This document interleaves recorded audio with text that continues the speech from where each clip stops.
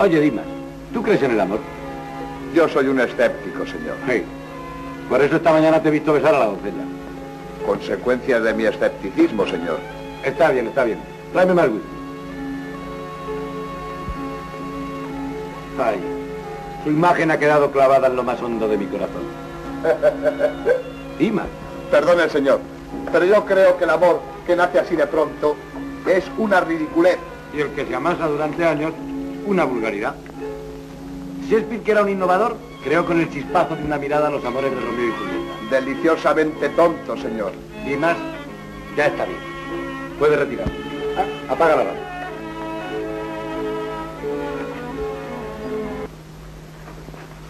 Dimas, Señor, ven aquí. Hoy he recibido carta de Cuba. La cuarta en un mes. ah, que sin duda la que ha producido en el señor ese desequilibrio romántico. Sí, sí, sí. Pero con la carta venía una fotografía.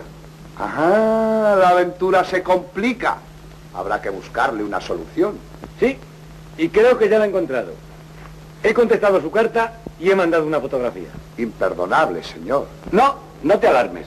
Ella no me conocerá hasta que yo quiera. Por eso la fotografía que he mandado es la tuya. Señor. No te preocupes, Dima, no había más remedio. Te subiré el sueldo. Gracias, señor.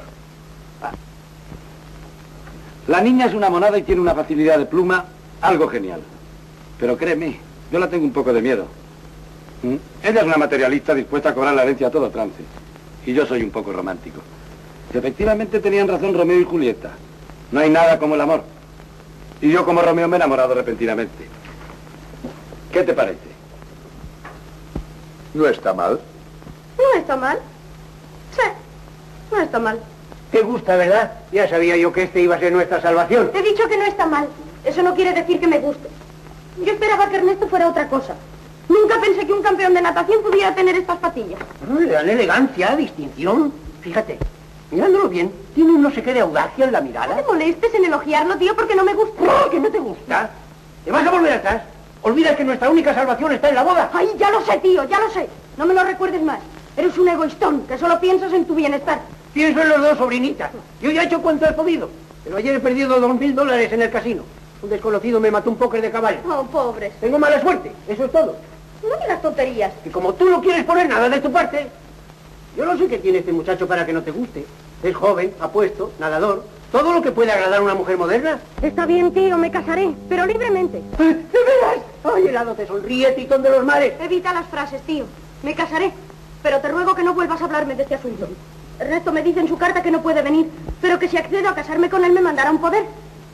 ¿Quieres ser tú su representante? Encantado. Yo que no me he casado nunca de verdad. Me casaré contigo de mentirijillas. Ay, qué buena eres. Ay, qué rica, qué mona eres.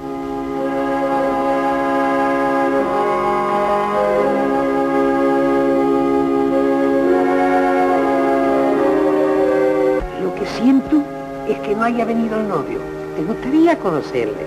Le habrá sido imposible. Figúrate, un viaje tan largo. ¿Cómo iba a dejar abandonados sus negocios de España? ¡Ay! Lo nervioso que estará el pobre muchacho en estos momentos. Claro.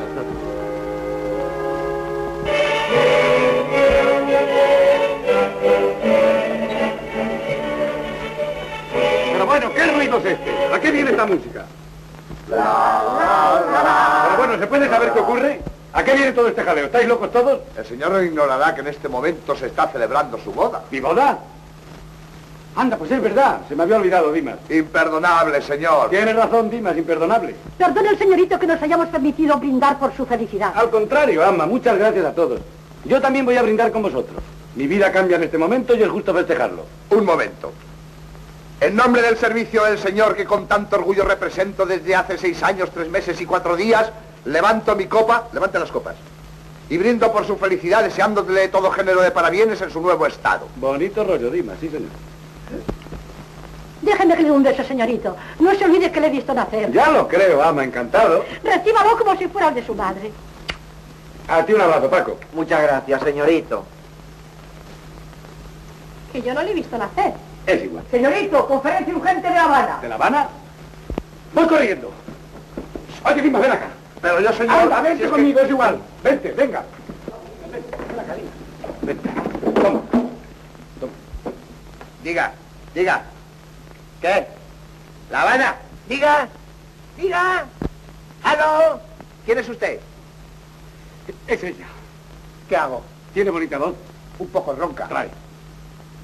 No, no, no, claro, no puede ser. Si tú eres yo, mi voz será tu voz. Toma, habla. ¿Cómo? Pero, Habla tú, si yo no existo. pero señor, Pero mira, habla, habla. Tranquilo, tranquilo, como si tú fueras yo. Digo, como si, eso es como si tú fueras yo. ¿Aló, Madrid? Madrid, sí. trae vidita. Sí. ¿Cómo estás? Yo no soy vidita. Soy tu tío Pepe. Es el tío Pepe. Oye, ¿qué tío Pepe? No lo sé. Bueno, pues contesta, di algo. Sí. Oh, hola. ¿Qué tal, Ernesto? Hola. Pero no te cortes con, dile algo, más cosas. Hola, hola, hola. Acabo de terminar la ceremonia y ahora eres un hombre casado. He querido ser el primero en darte la enhorabuena, pero ahora me retiro. Mari está impaciente por hablar contigo. Hola, Ernesto. Hola, Mari. Hola. Pero, hombre, no vas a salir de las olas. Dile algo bonito. No es tan fácil decir algo bonito. Yo no estoy acostumbrado. Yo soy un escéptico. Sí, sí, lo comprendo. Una boda tan rara como la nuestra hace escéptico a cualquiera. A mí tampoco me salen las palabras. ¿Que no te salen las palabras? A mí tampoco. Ah, si estuvieras aquí a mi lado, ¿Pero qué dices? ahora verá usted.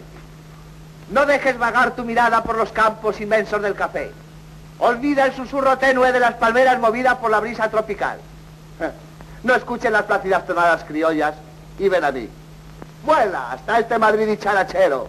¿O qué importa que el aire, el agua, el mar, la tierra y la distancia nos separen si yo voy a ti y tú vienes a mí? ¡Frena! ¡Frena! No, no, no, digo, no frenes, no frenes, no frenes. Deja volar tu fantasía y tiembla de emoción como yo tiemblo al poderte decir esta frase que tanto anhelaba. Al fin solos. Oh, es un cursi. Ya que quieres que vuele, volaré. Como tú dices que no puedes venir hasta dentro de un mes, he decidido ir yo a España. Embarcaré dentro de ocho días. ¿Te parece bien? Muy mal. Oh, perdón. Muy bien. Pero bueno, ¿qué te dice? Aló, aló, La Habana. Van seis minutos, corto. Sí, corte. Adiós, Ernesto. Adiós. Ah, un consejo. Afeítate las patillas. Que me afeite las patillas. ¡Eso te ha dicho! ¡Uy, qué graciosa! No se ría el señor, que la señorita es muy decidida y dentro de ocho días toma el barco para España. ¿Que viene para España? Estupendo, estupendo. Anda, Dima, prepara mis maletas que me voy a Cuba en avión. Quiero volver en el mismo barco que ella. Pero señor, eso es una locura. ¿Eh? A lo mejor. Pero yo necesito conocer a mi mujer. Ella hacerle el amor. Ella no piensa más que en la herencia y yo quiero que se enamore de mí. Si no lo consigo, deshago la boda. No me interesa este negocio. Sí, señor, muy oportuno. Desharemos la ¿De boda. acuerdo? Pues date prisa que el avión sale dentro de unas horas. Está bien, señor, está bien. Habráse visto. Decir que me afeite las patillas. Minutos parecenme siglos. Stop. Ansío verte, saluda a tío José. ¿Qué tal? ¿Va saliendo? He escrito algunos. Me alegraría que fueran del agrado del señor. Stop. Por lo menos no te va pegando el estilo. A ver, déjame verlo. Vea, vea. Esperando te encuentres bien, viaje feliz. Recibe expresión fervorosa, sentimiento amoroso. Stop. Espero ilusión llegar a barco. Stop. Ernesto. No, no, no, mira, esa expresión fervorosa no me gusta. Déjame a mí. Verás. Podríamos poner... Recibe cariño inmenso. Sí, sí. No, no, no me gusta. No, no, no, no. Homenaje conyugal. Sí, sí. No, no, no, no, no, No, me gusta, es una cursilería. Hay que buscar algo que tenga más fuerza, que sea una expresión de amor en dos palabras. En dos, en dos palabras. Ya, ya, ya está, ya está, ya está, ya está. Siglos parecen de homenaje. Homenaje. Minutos Homenaje y, minutos y siglos conyugales me pare... sí. Atención, atención, señores pasajeros para la línea Lisboa. Sírvanse ocupar sus platas en el avión ILRO. Mira, yo me haz lo que quieras. No, no, no, ya está, ya está, ya está. Saludos de cariñosos viajeros. Los minutos y los siglos me parecen conyugales. Mira, no te tampoco. preocupes, lo que te pasa es que estás muy nervioso. Lo que debes hacer es que todos los días salga un telegrama para que Mari crea que yo sigo en Madrid. ¿Entendido? Entendido. Ya te diré en qué barco vamos a venir. Adiós, Dimas. Espero que todos mis encargos los hagas al pie de la letra. Enterado, señor. Le permito recordarle al señor lo expuesto que es viajar con documentación falsa y que caso de descubrirse a su plantación como los Es documentos igual, es míos. igual, mira, no te preocupes. Te subiré el sueldo. Adiós. Gracias, señor. Adiós. Me alegraré que todo le salga bien al señor.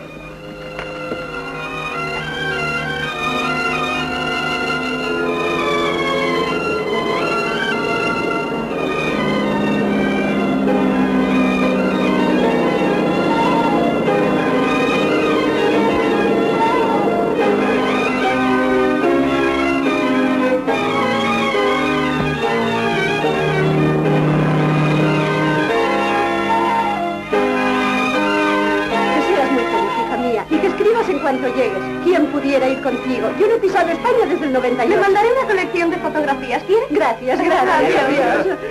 Adiós, viaje. ¿eh? Adiós. Feliz Adiós, viaje.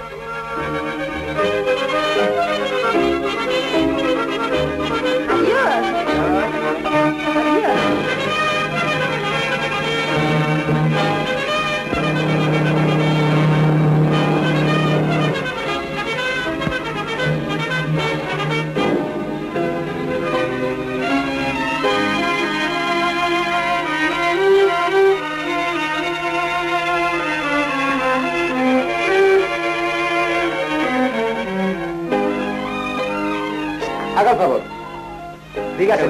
Primera puerta a la derecha. Muchas gracias.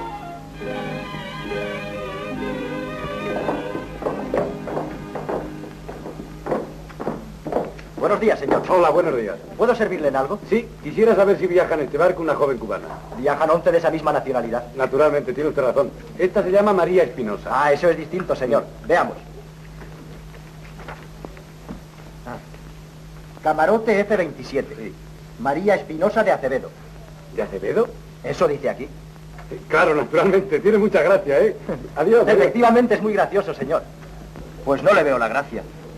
¿A usted qué más le da? Cuando lleguemos a España le pagaré con creces sus favores. Comprenda usted, don José, que si por cualquier circunstancia su sobrina no entrara en posesión de la herencia, yo me arruinaba. Le he prestado ya más de 30 mil dólares. ¿Y eso qué? Pagatelas. Antes de terminar el viaje se los pagaré. Hoy tengo proyectado una partida de póker con un diplomático del Perú, un general uruguayo y un fabricante de tejidos de terrazas. Vamos ahora a tomar el sol porque eres muy guapo.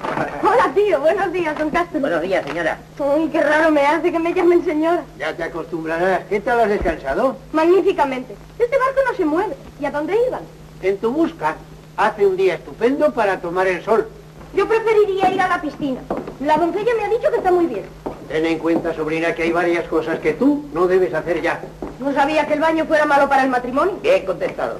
Me parece que su tío se va volviendo viejo. Me voy volviendo formal, que no es lo mismo. Está bien, Tito, no te enfades. Pasearé con vosotros. ¿Qué se le va a hacer? ¿Me permite usted que se lo dé? No se moleste, le haría daño. Si es azúcar. Precisamente por eso. Es diabético. Toma, perro, toma. ¿Qué antipático? Vamos, hombre. Qué impertinente. Primera desavenencia conyugal. El amor no encuentra distancias ni reconoce obstáculos. Se dicen amor las flores, cantan amor las palomas, los pájaros en las lomas están diciéndose amores. Ay, así escribía yo en mi juventud. Todo es amor, todo canta el amor. Desde el trino de la de Canora hasta el repiqueteo del telégrafo. Ay, toma. A la señora María Espinosa de Acevedo, camarote F27. Si no está en él, la buscas por cubierta. Al amor no le gusta esperar. A la orden. Oh, el amor.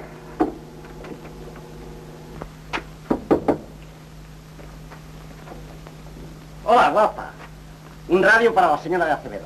Ya se lo daré cuando vuelva. Está en la cubierta paseando. Ah, imposible. Hay que dárselo ahora mismo. Al amor no le gusta esperar. ¿El amor? ¿Y qué tiene que ver el amor con un radiograma? Todo es amor. Todo canta el amor. Desde el trino del ave sonora al monorítmico repiqueteo del telégrafo. ¡Oh, el amor! Oh. Oh, he viajado mucho. Esta